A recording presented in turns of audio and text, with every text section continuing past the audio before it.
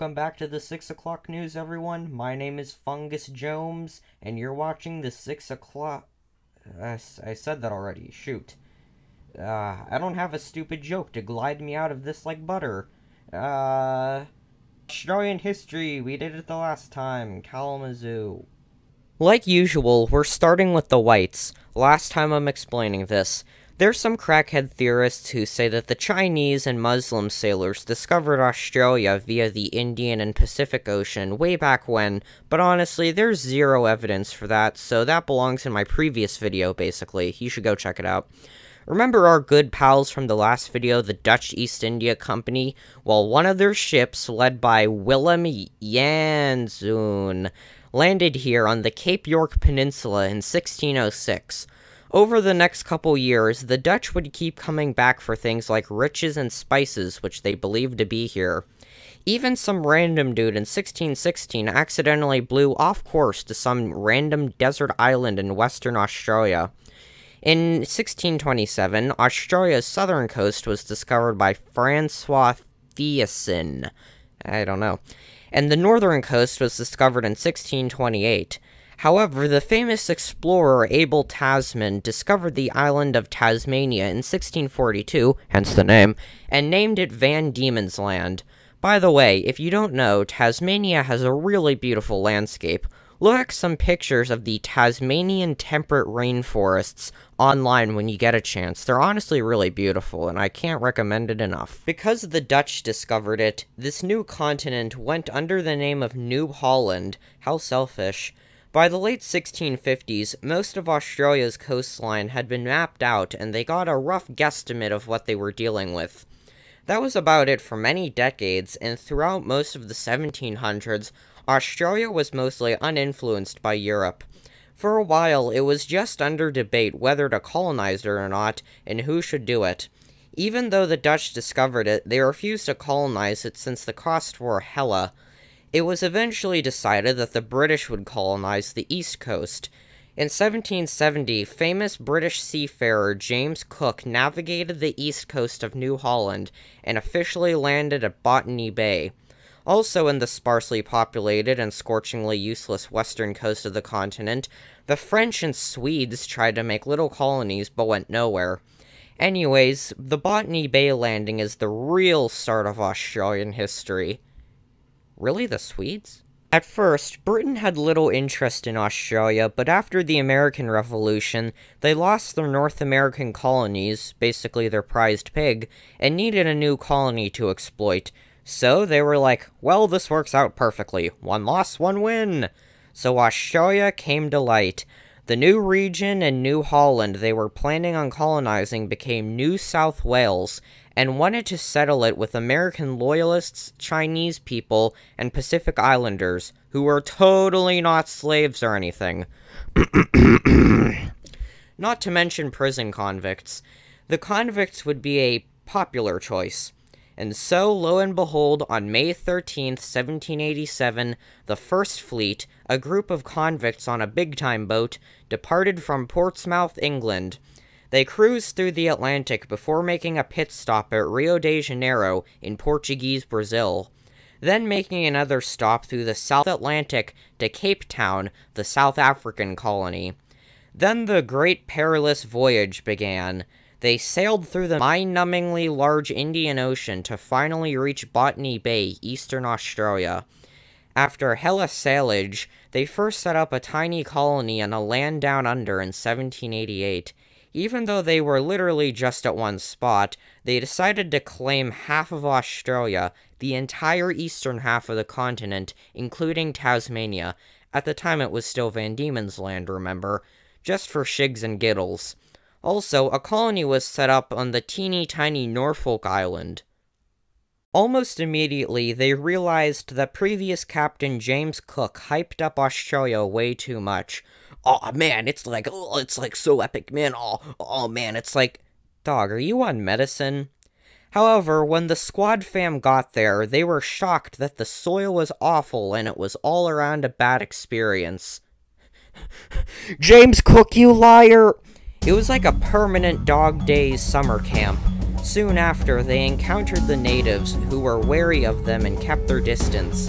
Unfortunately, setting up any settlements were difficult because European tools were not at all meant to harvest Australian resources. For example, the soil was extremely dry and rocky, and the trees were extremely hard, large, and thick. They first settled on just making caveman huts, but those were destroyed near instantly with the onset of ferocious sea and rainstorms.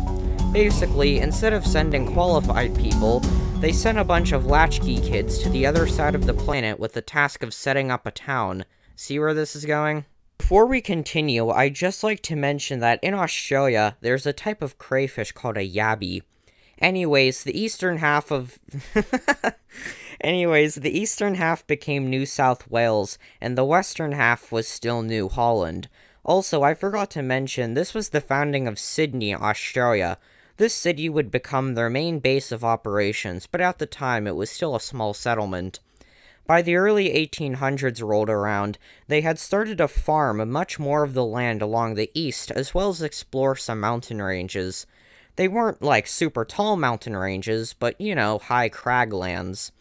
The advent of farming allowed for more free immigrants to come in as well. Sydney began to grow a lot and became profitable, in 1803, the Brits went from Sydney to Van Diemen's Land, remember, the island of Tasmania, and founded the settlement of Hobart, now the island's main city today. The region of Victoria was also discovered south of New South Wales, and in the very bottom southeast of the continent as well. Australia started to become a smaller place each year, and also really started to shape up as more colonies began to be settled.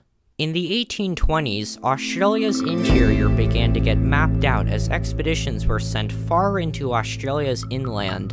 Being in the scorching outback in the 1820s with barely any water and being surrounded by hostile tribes frankly sounds like hell. The Swan River Colony was also founded in 1829 in Western Australia. The same year, in said colony, the city of Perth was founded, though at the time it wasn't a city, just a settlement but you know, you get what I mean. In 1836, South Australia, the actual official name of the region and not just a cardinal direction, was founded as a free colony, meaning that convicts weren't sent there to develop it, but instead just got regular working class Joe immigrants. This was also when the settlement of Adelaide was founded, BTW. South Australia has a lot of large peninsulas that jut out into the ocean as well as rugged islands, and as such, it made for pretty good territory to build settlements and ports on. Three years later, a small colony was set up on extremely small Lord Howe Island, quite literally in the genuine middle of nowhere. 1856, Van Diemen's Land becomes Tasmania. Remember that now, it's the modern term. Back to business. In 1859, Queensland becomes a separate colony from the others, huge and situated in the northeast. At this time, the native Aborigines saw the writing on the wall and attempted to flee after the ever-expanding farmers and settlers began to push them off their rightful lands. As such, many Aboriginals were forced onto reservations, killed, or starved. Let's just back up a second. Everything was going business as usual in the fine Australian colonies when all of a sudden in 1851, gold was discovered. And boy did they discover a lot of it. Quickly afterwards, people from all over Europe and Asia began to rapidly flock to live and work in Australia. The colony of Victoria exploded the most, increasing in population by 597% in 8 years. That's almost a 75% increase every single year.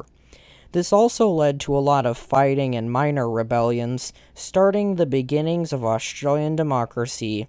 Because of all the workers, the main working class of Australia got skilled far more than others, meaning that they could work shorter days, get benefits, and also form unions. They lived better than their European colonizers at home. The massive gold boom in Australia led to rapid development, meaning that in only a few short decades, Australia rapidly industrialized. In fact, Melbourne, what used to be a small settlement on an isolated continent, at that time became the richest city in the world. Australia gained ocean, rail, and river transport systems pretty quickly. Also, the telegraph got introduced in 1854 in Melbourne, Sydney, and Adelaide. Pat yourselves on the back, you guys. Good job. In 1868, the last ship full of convicts arrived in Australia, and after that, 'twas no more. By this time, many Australians were native born, but also Australia was relatively pretty darn modernized. Around the 1880s, the want for independence began to grow. Throughout the late half of the 1800s, Australians wanted more and more for independence from Britain and rule their own country instead of the faraway British Isles. After decades of deliberation, Australia finally got their independence in 1901 and became a Commonwealth country. Almost immediately, however, as a new country, this new Australia found itself wrapped up in a lot of conflicts, like the Boer War, World War One. It was kind of a mess. However, overall, it was pretty satisfying for the Australian population to have a country for themselves, and at the end of the war, they joined the League of Nations. World War II was when things started to go downhill, then uphill. When Germany invaded Poland in 1939, Britain and the Allies declared war on the Nazis, and due to Australia's turbo close ties to Britain, they in turn declared war as well. Japan was also allied with Germany, and while Germany couldn't do anything to Australia because of the distance, Japan was pretty close. So when Japan started invading Southeast Asia and Oceania, like the Pacific Islands, Australia was like, nah, not in my joint. They fought back against the encroaching Japanese who were blazing through Southeast Asia, specifically the island of New Guinea, which Australia had some control over. And as it turns out, Australia was actually hella good at fighting and kicked out the Japanese from the island. In response, Japan sent bomber planes to fly over the city of Darwin along Australia's northern coast and devastated the city. There were also many sub attacks in Sydney that the Japanese sent to mess up the place. After the war, there was a big economic boom that saw the rise of a lot of immigration to Australia, specifically from communist Asia. During the 1950s, Australia received a heck of a lot of immigrants from the Soviet Union, Korea, and the newly formed Communist China. With this new economic boom, however, they began to export bazonker amounts of resources to their chief trading partners, mainly Democratic Japan, the US, and other Commonwealth countries. So that's where we're at today, Ever since then, Australia has become a modernized and wealthy country down under and is a strong beacon for democracy in the Pacific. Allied with the West, Australia is a regional powerhouse and considered to be one of America's most valuable partners, as well as one of Europe's top partners as well, chiefly Britain. They share tons of culture with America and Britain, as well as the other Commonwealth countries. God bless, duders. God bless.